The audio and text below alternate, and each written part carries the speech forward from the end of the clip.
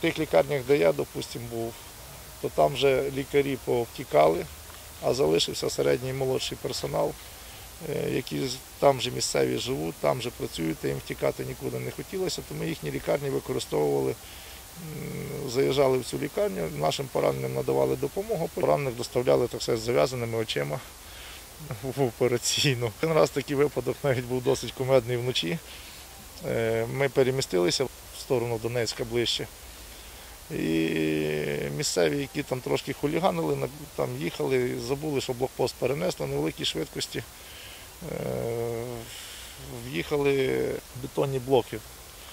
Людина була з запахом такого алкоголю нормального, але старший такий літній чоловік.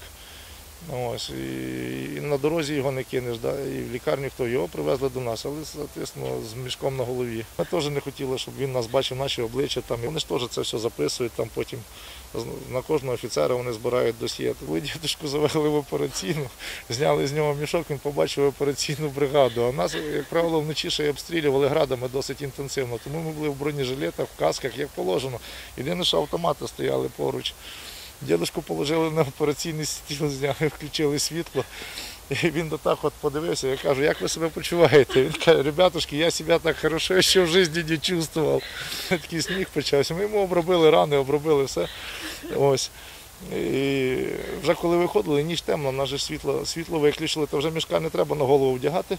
Він може сам, ну, взяли його під руки та каже, я вас проведу до машини, яка вас вивезе, щоб ви змогли додому попасти. Он каже, ребятушки, я ночью еще так хорошо тоже никогда не видел. Я сейчас так начал хорошо видеть ночью. Він дійшов до машини, сам вдягнув мішок, ліг на сідушку, його вивезли, і він уїхав. Ну, щоб він не знав розташування лагеря. І такі випадки були. Ми ж не з китайцями воюємо, не з японцями, правда, не з мексиканцями, що там зразу видно, що ти не той національності. Е, Ми воюємо з такими самими людьми. Якщо на мені там тих прапорців я повідривав, бо я вночі їду, я не знаю, куди я заїду. Е, Тризубів на колок я собі не понаклеював. Приїхав, приїхав.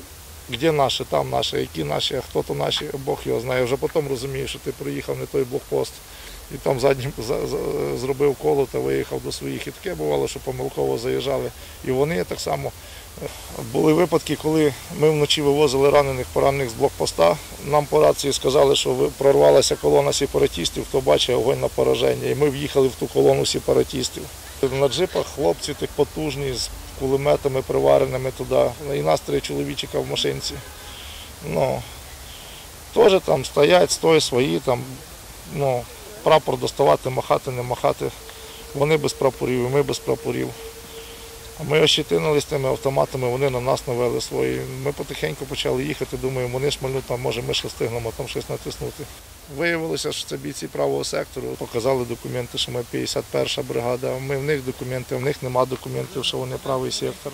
Коли приїхали бійці Дніпра, вони підтвердили, що це дійсно правий сектор, провели їх двоїх, там лагер базовий був недалеко, провели. Так могли попасти, от свій свого могло бути запросто.